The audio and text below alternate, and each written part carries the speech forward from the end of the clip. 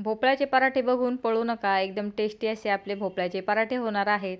तर श्री स्वामी समर्थ तर चला आपण भोपळ्याचे पराठे बनवणार आहोत ते सुद्धा शंभर टक्के टेस्टी तर बघा भोपळ्याचं नाव ऐकून आपणच लांब पळत असतो. मुलं तर खूप लांबची गोष्ट आहे. बराच वेळेस भोपळ्याचे पराठ्यांचं जे पीठ आपण मळतो ते पातळ होतं किंवा पराठे खूप तेलकट होतात. तर आज तसं काहीच होणार नाही. तर बघा मी इथे एक भोपळा घेतलेला आहे. तर यातील थोडासा भोपळा मी वापरला होता आणि तिथे त्याला म्हणजे जिथे कापलं तिथे त्याला ॲल्युमिनियम फॉईल लावून ठेवलेलं होतं. तर यातील आता मी एकच तुकडा वापरणार आहे. तर ॲल्युमिनियम फॉईल असेल तर तो इथे कापलेल्या जागेवरती लावायचा.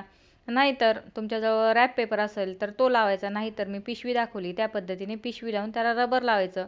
म्हणजे भोपळा फ्रीजमध्ये ठेवल्यानंतर खराब होत नाही. कवळा भोपळा असेल तर सोलून घेतला नाही. तरी चालेल. हा मीडियम साईजचा भोपळा आहे. त्याच्यामुळे मी याची सालं काढून घेतली. आता आपण यातील पाणी काढून घेणार आहोत. तर बघा किसताना जी मोठी किंवा एकदम बारीक साईड आहे त्या साईडने न किसता किसणीची जी मिडियम साईड आहे तिथून आपण भोपळा किसून घेणार आहोत. तर इथे मी एका मोठ्या घमिल्यामध्ये किंवा ताटामध्ये एक उपरणं टाकलं किंवा पातळ कापड टाकायचं आणि या पद्धतीने भोपळा किसून घ्यायचा. आता भोपळा किसल्यानंतर जे मोठे मोठे तुकडे निघतात किंवा बिया निघतात त्या काढून टाकायचे. जे मोठे तुकडे आहेत ते तुम्ही कापून घेऊ शकता आणि बऱ्याच भोपळ्यांमध्ये अशा कडक झालेल्या बिया असतात त्या एकदम आवर्जून काढायच्या म्हणजे खाताना त्या तोंडामध्ये लागत नाही. तर या अर्ध्या भोपळ्यामध्ये चार पाच अशा कडक बिया निघाल्या होत्या. त्या काढून घेतल्या आणि भोपळ्याचे जे मोठे मोठे तुकडे होते ते मी सुरेने इथे बारीक कापून घेतले. मोठे तुकडे तसेच टाकायचे नाही. आता इथे फक्त थोडंसं मीठ टाकलेलं आहे चिमूटभरपेक्षा थोडंसं जास्त मीठ आणि सगळीकडे भोपळ्याला मीठ लावून घेतलं. मीठ लावताच भोपळा बघा सगळं पाणी सोडण्यास सुरुवात करतो. तर असं का करायचं? तर मी पुढे सांगतेच. तर बघा आपण जर असंच पाणी न काढता या भोपळ्यामध्ये पीठ टाकलं आणि पिठाचं प्रमाण जर कमी जास्त झालं तर भोपळ्याचे पराठे अजिबात लाटता येत नाही. जसे जसे आपण पराठे लाटू तसं तसं पीठ पातळ होण्यास सुरुवात होते. म्हणून इथे थोडंसं काम वाढेल. मात्र ही स्टेप आवर्जून करायची. आता भोपळ्याचं पाणी मी एका फुलपात्रामध्ये काढून घेतलं.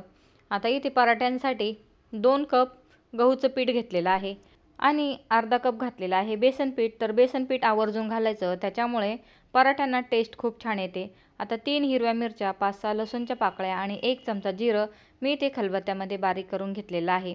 अर्धा चमचा घेतलेला आहे कश्मीरी लाल मिरची पाव चमचा हळद अर्धा चमचा घेतलेली आहे धना पावडर आणि इथे बघा सिक्रेट मसाला तो म्हणजे पाव चमचा घेतलेला आहे चाट मसाला. चाट मसाल्याने पराठ्यांची चव डबल होते. दोन चमचे तीळ घातलेले आहेत थंडी आहे त्याच्यामुळे तीळ भरपूर घालायचे. वाटीभर कोथिंबीर घातलेली आहे आणि आता आपण जो भोपळा पिळून ठेवला होता तो घेतला. बघा भोपळ्यामध्ये अजूनही भरपूर पाणी शिल्लक होतं. चवीनुसार मीठ टाकलं आणि आता आपण इथे सगळं एकजीव करून घेणार आहोत. तर याच्यामध्ये मी पाव चमचा हिंगसुद्धा घातलेला आहे. तेवढा व्हिडिओ माझ्याकडून स्किप झाला तर हिंग आवर्जून घालायचं म्हणजे पराठ्यांना टेस्ट खूप छान येते. आता जे पाणी आपण साईडला काढून ठेवलं होतं ते थोडं थोडं टाकायचं आणि पीठ मळायचं. चपातीच्या पिठाप्रमाणे आपण इथे पीठ मळून घेणार आहोत. चपातीच्या पिठापेक्षा पातळ पीठ मळायचं नाही नाहीतर हळूहळू हे पीठसुद्धा नरम होण्यास सुरुवात होते आणि नंतर मग आपल्याला पराठे करता येत नाही. तर बघा इथे टोटल जे आपण भोपळ्याचं पाणी काढलं होतं ते पाणी आणि वरतून मला चार चमचे पाणी लागलेलं आहे. आता पीठ या पद्धतीने मळून झालं की त्याला अर्धा चमचा तेल लावायचं आणि आता आपण याला झाकून ठेवणार आहोत. तर बघा तुम्हाला वाटत असेल पीठ जास्त झालं आणि भोपळा कमी झाला तर अजिबात नाही. तुम्हाला इथे पिठामध्ये सगळीकडे थोडाफार प्रमाणात भोपळा दिसत असेल ज्या भोपळ्याच्या रेषा आहेत किंवा किसलेला भोपळा आहे तो सगळीकडे दिसत आहे. आणि बघा असं पीठ मळून घ्यायचं आहे. चपातीच्या पिठापेक्षा थोडंसं कडक पीठ मी मळून घेतलेलं आहे आणि पाच मिनटं त्याला झाकून ठेवलं. पंधरा मिनटापेक्षा जास्त हे पीठ झाकून ठेवायचं नाही किंवा मळून ठेवायचं नाही. नाहीतर तुमचे पराठे काळेसुद्धा होतील आणि पीठसुद्धा खूप नरम हो नरम होण्यास सुरुवात होईल. आता इथे मी याला फक्त तेलाची दोन तीन बोटं लावली आणि फक्त अर्धा मिनटं या पिठाला मळून घेतलं. आणि आता याचे समान भाग करून घेणार आहे. तर तुम्हाला त्रिकोणी गोल जसे पराठे हवे आहेत तसे करून घ्यायचे. आता बघा याचे मी समान भाग केले. आता तुम्ही डायरेक्ट असे पराठे लाटू शकता किंवा चपातीप्रमाणे त्रिकोण करून किंवा तीन पदरी करून लाटू शकता. आता एक लाटी घेतलेली आहे बाकीच्या मी झाकून ठेवल्या. आता इथे मी पीठ न लावताच लाटलेली आहे. तुम्हाला जमत नसेल तर पीठ लावून लाटलं तरी चालेल.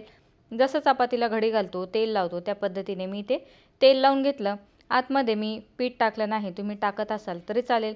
आता इथे मला गोल पराठे करायचे होते म्हणून मी ही प्रोसेससुद्धा करून घेतली.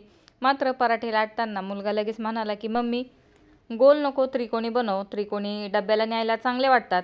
मग मी सुद्धा इथे थोडीशी लाटण्याची पद्धत चेंज केली आणि त्रिकोणी पद पद्धतीने इथे पराठे लाटून घेतले.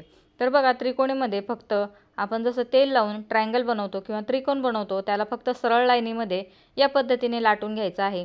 तुम्हाला गोल आवडत असतील तर गोल लाटून घेतले तरी चालतील. तर इथे तुम्ही बघत असाल आपल्या पोळपाटला अजिबात पीठ चिपकलेलं नाही. आता हे पराठे लाटताना बघा यांचे जे साईड्स असतात म्हणजे जे त्रिकोणाचे कॉर्नर असतात ते थोडेसे जाड असतात. तर त्यांना व्यवस्थित लाटून घ्यायचं. बघा या पद्धतीने मी इथे पराठा लाटून घेतलेला आहे. आता तवा चांगला गरम करायचा आणि तव्याला थोडंसं तेल लावून घ्यायचं आणि लगेच मीडियम टू हाय फ्लेमवरती हे पराठे आपण भाजून घेणार आहोत. तर बऱ्याच वेळेस पराठे कच्चे राहतात किंवा तोंडामध्ये भोपळ्याची चव लागते किंवा कच्च्या भोपळ्याची चव लागते तसं होऊ नये म्हणून सुरुवातीला तेल न लावता इथे ऐंशी ते नव्वद टक्क्यापर्यंत आपल्याला पराठा भाजून घ्यायचा आहे आणि नंतरच याला तेल लावायचं. म्हणजे पराठा जळणारसुद्धा नाही आणि कच्चासुद्धा राहणार नाही. बघा मी आता सगळ्या साईडने याला पहिले भाजून घेतलं आणि नंतर याला तेल लावलेलं आहे. तर पराठ्यांना कलर बघा किती सुंदर आलेला आहे. फक्त तीन हिरव्या मिरच्या मी टाकलेल्या आहेत. तुम्हाला जास्त तिखट आवडत असेल तर जास्त तिखट टाकलं किंवा लाल मिरची टाकली लाल तिखट टाकलं तरी चालेल. आता मला मुलाला मुलाला डब्याला हे पराठे द्यायचे आहेत. त्याच्यामुळे मी जास्त काही तिखट बनवलं नाहीत तर नाश्त्यासाठी मुलांच्या डब्यासाठी या पद्धतीने तुम्ही पराठे बनवू शकता. आता हा पराठा भाजून झालेला आहे. बघा किती सुंदर कलर आलेला आहे. तसाच थोडासा हा पराठा फुगलेला सुद्धा आहे. अजिबात कडक झालेला नाही किंवा कुठे कच्चा राहिला नाही पोळपाटलाही चिटकला नाही आणि तव्यालासुद्धा चिटकला नाही. एकदम जबरदस्त शंभर टक्के टेस्टी हे पराठे होतात. नक्की ट्राय करून बघा. आता मी ते दुसराही त्रिकोणीच लाटून घेतलेला आहे. मी सगळेच त्रिकोणी लाटून घेतले. आता हा पराठा भाजतो तोपर्यंत बघा. आपण जर भोपळा पिळून घेतला नाही आणि त्याच्यामध्ये जर आपण डायरेक्ट पीठ टाकलं तर अशा वेळेस बघा पीठ पातळ होण्याची शक्यता असते. बराच वेळेस आपण अखंड भोपळा असतो तो पूर्ण किसून घेतो आणि त्याच्यामध्ये पीठ कमी घालतो. त्याच्यामुळे ते पीठ पातळ होण्याची शक्यता असते. आणि ज्यावेळेस आपण पीठ जास्त घालतो अशा वेळेस पीठ खूप कडक होतं आणि बराच वेळेस आपल्याला अंदाजसुद्धा येत नाही. मग काय करायचं? जेवढा भोपळा तुम्हाला वापरायचा आहे तेवढा भोपळामध्ये थोडंसं सुरुवातीला मीठ घालायचं आणि भोपळा पिळून घ्यायचा. आणि नंतर आपल्याला लागेल तसं त्या भोपळ्यामध्ये पाणी टाकायचं म्हणजे अजिबातच आपल्याला पीठ मळताना आणि पराठे लाटताना प्रॉब्लेम येत नाही. तर दुसरा पराठा बघा मी एकदम खरपूस भाजून घेतलेला आहे. आता इथे मी तिसरा टाकलेला आहे. तर तुम्ही म्हणत असाल की भोपळा पिळून का घेतला? तर याच कारणासाठी मी भोपळा पिळून घेतला होता. याच्यामुळे आपलं पिठाचं प्रमाण परफेक्ट होतं आणि पराठेसुद्धा एकदम परफेक्ट बनतात. नाहीतर आपण जर डायरेक्ट भोपळ्यामध्ये पीठ मळलं तर बघा सुरुवातीचे एक दोन पराठे छान होतात आणि बाकीचे पराठे करेपर्यंत पीठ एकदम मऊसूत झालेलं असतं किंवा नरम झालेलं असतं. मग आपल्याला पीठ लावून लावून ते पराठे लाटायला लागतात आणि अशा वेळेस आपल्या पोळपाटला ते पीठ खूप चिपकत असतं. तर असं होऊ नये म्हणून सुरुवातीला मी ते भोपळा पिळून घेतला तरी ते थोडीशी एक प्रोसेस वाढेल. मात्र आपले पराठे जबरदस्त होतील आणि या पराठ्यांमध्ये चाट मसाला हमखास घाला. त्याच्यामुळे या पराठ्यांची चव डबल होते. तर चला आता तिसरासुद्धा पराठा भाजून झालेला आहे. याच पद्धतीने मी सगळे पराठे करून घेतले. तर या पराठ्यांना तेल थोडंसं जास्त लावायचं आणि सुरुवातीला पराठा भाजायचा आणि नंतर तेल लावायचं म्हणजे पराठे छान भाजले जातात. तर बघा सगळे पराठे इथे लाटून झाले. अजिबात पोळपाट खराब झालेला नाही. तुम्ही बघत असाल खूप पीठसुद्धा लावून मी हे पराठे लाटले नाहीत. चपातीप्रमाणे हे पराठे लाटून झालेले आहेत. तसेच पराठे फुगलेले सुद्धा आहेत. तर बघा पराठ्यांना तुम्ही तूप लावा तेल लावा लोणी लावा. पराठ्यांना भरपूर तेल लावलेलं छान लागतं. आणि हिवाळ्याचे दिवस आहेत. अशा दिवसामध्ये मुलांच्या पोटामध्ये तीळ तेल असे पदार्थ जास्त प्रमाणात जायलाच हवेत. तर बघा मी इथे तेलच लावून हे पराठे भाजून घेतलेले आहेत. मुलाच्या डब्यासाठी बनवले तसेच मी इथे चार आमच्या नाश्त्यासाठी सुद्धा बनवून घेतले होते. तर सगळे पराठे इथे तयार झालेले आहेत. थोडेसे थंड होऊ द्यायचे आणि नंतर डब्याला द्यायचे किंवा एखाद्या पेपरमध्ये सुद्धा तुम्ही देऊ शकता. आता गरम आहेत मी थोडेसे त्यांना थंड करून घेतले. आणि बघा किती सुंदर आपले पराठे झालेले आहेत. एकदम खरपूस यांना भाजून घ्यायचं खूप छान लागतात. तुम्ही एकदा अशा पद्धतीने पराठे ट्राय करून बघा. जे खात नाही ते सुद्धा आवडीने खातील. जर तुम्हाला आवडत असेल तर याच्यामध्ये चार पाच मेथीचे दाणेसुद्धा कुटून घालू शकता. बघा एवढे पराठे आपण एकदम थोडासाच भोपळा वापरला त्याच्यातून झालेले आहेत. खूपसुद्धा भोपळा वापरण्याची गरज नाही. या पद्धतीने या प्रमाणात तुम्ही भोपळ्याचे पराठे करून बघा. तुम्हाला खूप कडक भोपळ्याचे पराठे आवडत असतील तर याच्यामध्ये दोन चमचे तांदूळचं पीठ घातलं तरी चालेल. आता हा एक पराठा इथे तुम्हाला तोडून दाखवते. एकदम मऊसूद झालेले आहेत आणि चपातींप्रमाणेच यांना लेअरसुद्धा आलेले आहे. पूर्ण आतपर्यंत या पराठ्यांमध्ये भोपळा आहे तर इथे तुम्हाला एक पराठा तोडून दाखवते. इथे तुम्ही बघा याला लेअरसुद्धा भरपूर आलेले आहेत. बघा चपातींप्रमाणे याला लेअर्स आलेले आहे.